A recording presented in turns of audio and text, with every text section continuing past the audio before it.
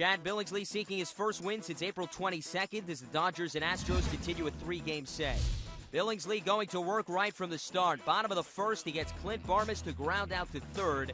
Next batter, Hunter Pence, strike eight pose. One, two, three, first for Billingsley. Move to the second, two out. Jay Gibbons gives Billingsley some early support. This flight is a round trip. Solo shot, his first of the year. Dodgers take a 1 0 lead. Top of the third, Dodgers threatening, two on, two out. Matt Kemp grounds one towards second. Bill Hall can't handle it. So everyone's safe. Jamie Carroll heads to third. James Loney to second. Loading the bases for rookie Jerry Sands. Oh, lets it rip, and this one's deep. Did he get it all? Bourn looks up.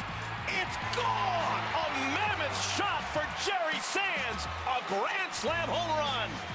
Dodgers blow things open 5 0. Bottom of the third, it's now 5 1. Two on, two out. Carlos Lee dribbles one up the middle. Clint Barmes and Hunter both score. Astros pull within 2 5 3.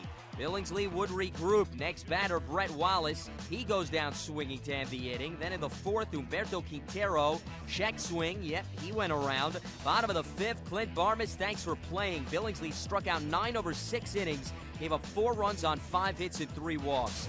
Skip ahead to the ninth one-run game. Javy in to close things out. Pinch hitter Angel Sanchez, the last man standing. This at bat could end the game. When it comes down, the Dodgers' three-game losing streak is going to be over. It is. Out of the pen picks himself up his first big league save. Dodgers hold off the Astros 5-4. Chad Billingsley combined with three relievers on a five-hitter to snap a personal three-game losing streak in the Dodgers' three-game skid. James Loney extended his hitting streak to 10 games.